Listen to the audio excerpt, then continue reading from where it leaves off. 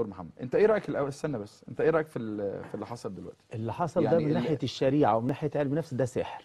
امم الأستاذ بيستعين برأي من الجن وده سحر في الشريعة الإسلامية. لأن لا يمكن بأي حال من الأحوال في الشريعة الإسلامية. أنا حافظ 17000 حديث.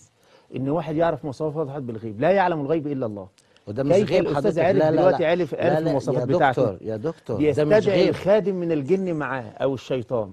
للشيطان. قرين الآخر فبيديله مواصفاته فبيقولها الهوا. يا بص يا دكتور بص يا دكتور انت طرقت موضوع كده خطير جدا لا لما تيجي. تكلمني إن أنا الغيب لا أنا مش بقول الغيب اللي انت قلته يا. فندم لا، دلوقتي لا خلي يدل. اللي انت ساحر لا واضح البيان سيبني من السحر سيبني من السحر وسيبني من حضرتك الدجل إحنا إيه بنحارب؟ في الحلقات اللي فاتت السحر والدجل يا فندم لو سمحت حضرتك أنا راجل مسلم وأنت مسلم تمام. أنا دكتور أنا قبل ما أكون بتاع علم نفس دكتور شريعة إسلامية تمام نعمة البصيرة معناها إيه؟ مفيش حاجة يا فندم اسمها نعمة البصيرة أنت بتقول عليها لا يوجد في الشريعة اللي أنت عملتها يعني إيه؟ يا فندم مفيش حاجة دي في حاجة إيه قال؟ رسول طيب، يا إيه فندم أنا حافظ البصيرة؟ 17000 حديث ماشي، إيه هي الكلمة البصيرة؟ هتقولها هجيب لك عليها حديث في سنن في سنن أنا أتكلم مع حضرتك في سنن صحيحة وفي سنن إحنا بنتكلم فيها وفي قصص ما تمتش أو ما حدش يتكلم عليها بس بقت موجودة في قصص مدلولة لا. ما تفعله أنت في الشريعة الإسلامية يسمى استخدام رئي من الجن كيف؟ اللي أنا مفيش حاجة مثلا اسمها إلهام أو يعني مفيش يا فندم الكلام ده كله. كذب. مهاجمين يعني. كاذب. لا أنا طيب، ما بهاجمش حد. هجيب لك من دليل من. السنة.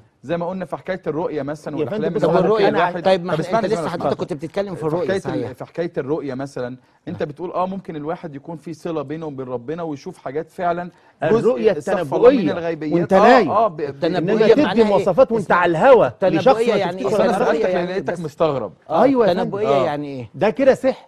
تنبؤية يعني إيه؟ سحر واضح البيان أنا سؤال سؤال بس أنا؟ بتكلم مع حضرتك مالهاش دعوة. بالسحر وخليتني بالشيطان خلي بالك أنا راجل ملتزم ديني عشان أنت تخلي بص. لا اسمعني اسمعني حضرتك مش بهاجمك. اسمعني بس أنا بصف ما خليني. لا خليني أتكلم مع حضرتك بس يا فندم، أنت على لا اسمعني لا سيبني من دماغك. لا سيبني من دماغك دلوقتي أنت بت بتقول لي ده سحر وده شغل شيطان أيوة اللي جن. فعلته حاليا اسمعني. طب اسمعني أنت تعرف أنا مين من غير ما أعرفك بصلي ولا ما بصلي؟ لا أستاذ دقيقه لو واحدة. بس. لا لا اسمعني بس ريح كيف عرفت المعلومات اللي أنت قلتها اصلع قاعد في كذا انت, قاعد انت ده لا يحدث إلا عن طريق استدعاء رئي من الجن شيطان. أنت بتخدمه فبيقول لك مواصفات كمان. أيوه بيقول لك؟ مواصفات. يعني أنت بتكفرني؟ يعني أنت كمان كفرتني؟ يا أستاذ يعني أنت كمان كفرتني؟ لا لا يا مش يا فندم أنت كده لا لا لا لا, مش على حد. لا لا لا؟ حازم هقول لحضرتك جاء الصحابه. إلى النبي صلى الله عليه وسلم وقالوا إن الكهان يخبرون بشيء من الغيب.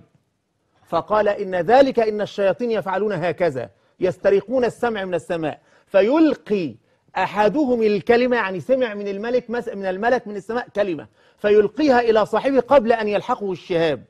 الآية بتقول فمن يستمع الآن يجد له شهابا رصدا طيب لما نيجي يعني إيه؟ نتكلم على يعني الشيخ إذا الشعراوي حاول ونقول خواطر. إيمانية اسمعني مفيش في بس القرآن اسمه خواطر مفيش مفيش حاجة حاجة اسمها خواطر إزاي نرد يا أنت هتخرجني من الموضوع لموضوع بس لا، أنا هرد على الاثنين أكمل. بتاعك ولا ارد عليه دي. الشريعة الإسلامية عن عبد الله بن مسعود قال رسول الله صلى الله عليه وسلم ما من مؤمن. إلا وبه لمتان نعم. لمة من الملك ولمة من الشيطان تمام. لمة الملك يزيدها العمل الصالح. ولمة الشيطان الله ينور عليك. كده كده ولذلك كويس. لا يجوز أن تقول في القرآن خواطر إيمانية لأنها طيب. تحتمل 50% لما- صدق خلينا واحدة و50% واحدة كذب خلينا واحدة واحدة مع بعض والكلام ده إحنا مع وصلنا مجمع البحوث إحنا وصلنا. لا بص إحنا وصلنا مبدأ كويس لما ايمانيه يعني ممكن يكون بصيص من نور عليه لا يا باشا اللي انت؟ عملته دي لما شيطانية وإنت- دلوقتي في إزاي؟ الحلقة إنت بص اولا ده خرجتني من الدين يا فندم أنا ما بشتمكش، لا، بصف ما حدث. لا مش وصف وصف لا للشيء بدليل من السنة. والقرآن. اسمعني. مش معناه نتكلم. بشتمك. لا خلينا يا أستاذ بعد لك نتكلم. قدام الاستاذ سامح. بص أنت أنت خلينا نتكلم أنا أنا قدام فوق سيبني من على دماغك. مش في إحنا القصة دي، بنبين- ببص إحنا دلوقتي يا دكتور إحنا بنبين للمشاهدين شيء طيب. إذا كان الجدال بيني وبينك على شيء فعشان نوصل معلومة جيدة للمشاهد. بالظبط بالظبط. فأنا مش فارق. أنا مش هزعل منك. خرجنا من موضوع الجدال- مش خرجنا من موضوع الحلقة. يا فندم ما حدث الآن سحر واضح في الشريعة الاسلاميه يا دكتور يا دكتور. اتفضل يا باشا. خلينا واحدة واحدة مع بعض. كونك متشبث بموضوع أنا سعيد جدا لأن النهاردة لقيت إنسان صادق معايا يقدر يتكلم بفعلا بالشريعة الإسلامية والدين صدق. بخلاف فترات طويلة بخلاف ناس كتير جلست يا عم أنا. عامل أربع موسوعات في تفسير الأحلام. أربع موسوعات على منها تفسير الأحلام بص بص بص يا دكتور يا دكتور خليني بس اخطاء خليني خليني اكلمك الدين في تفسير للاخر الأحلام. بص بص الشيطان خليني- بين السنة خليني- والقرآن. قول خليني اللي عندك وأنا ارد عليه. خلينا ما أنا لسه قول يا خليني باشا. أكلمك وبعد كده نتكلم.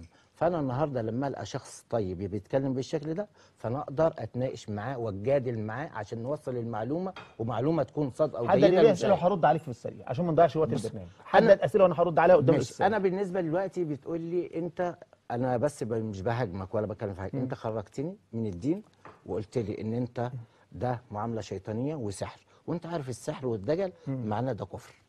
أيوه صح؟ يا فندم آه. صح ولا لا؟ أنت هل أنت بشيطان. اسمعني. أنت تستعين بشيطان حاليا. بلاش تستعين طب استاذنكم بس. اتفضل.